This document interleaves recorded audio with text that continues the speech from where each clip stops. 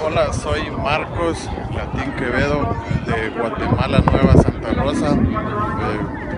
12 años de vivir aquí en Estados Unidos. Eh, estamos aquí presentes apoyando un día eh, sin inmigrantes. Eh, en el trabajo nos dijeron las personas que no se presentaran que iban a ser despedidos. Entonces, casi no me, no me importó y estoy acá, estoy presente. ¿Qué le hizo tomar la decisión de estar acá? Para que se nos haga escuchar la voz a su presidente. ¿Ha sido víctima de discriminación? Sí. ¿Me podría comentar un poco de eso?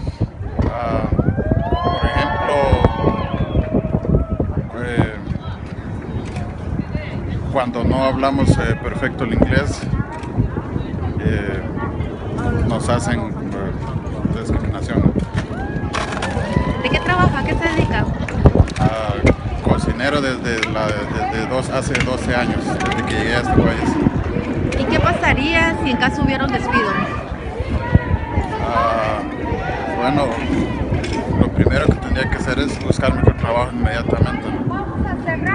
Y pienso que no se me hace muy difícil por la experiencia que tengo, casi 12 años estar trabajando de cocinero. ¿Su jefe es norteamericano? Sí. ¿Y qué mensaje le daría a él? Eh, en caso de ser despedido, que le daría las gracias por, por haberme dado la oportunidad de trabajar, pero le, debería saber que ya tengo otro trabajo. ¿Su nombre, señora? Mi nombre es Jasmine Romero Latín, soy salvadoreña, soy esposa de Marcos.